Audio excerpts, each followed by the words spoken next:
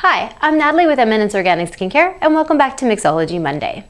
Well today I thought I'd give you a really great exfoliating and home care routine that you can do, especially if you are dealing with more sensitive skin. So any of you out there that have a little bit of redness, the skin gets reactive, or even if you have rosacea, there is also a way for you to get a very effective exfoliating treatment that's very gentle for your skin. So today what we're going to use is our brand new um, chamomile, uh, calm skin chamomile exfoliating peel. And what this does is it contains beautiful natural fruit acids like mandelic acid and lactic acid to really get the job done by lifting impurities off your skin, leaving it nice and smooth, in a combination with chamomile and calendula, so very soothing and calming agents for the skin.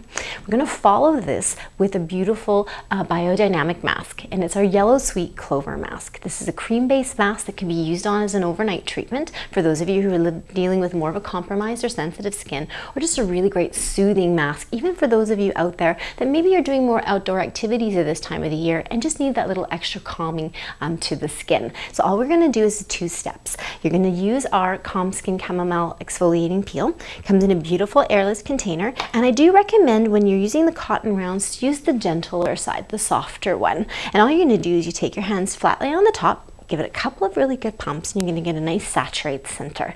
You want to apply it across the forehead, down the cheeks, down the center of your face, and never, don't forget your neck as well. These are also areas that could use some treatment. After you've done your application, you want to leave it on the skin for about one minute. After that, it's going to self-neutralize. So the good news is you don't need to even remove this. After that minute is, minute is finished, go right into your beautiful yellow sweet clover anti-redness mask. And as you can see here, it is beautiful, soft in color, soft and fragrant, and it applies just like a cream.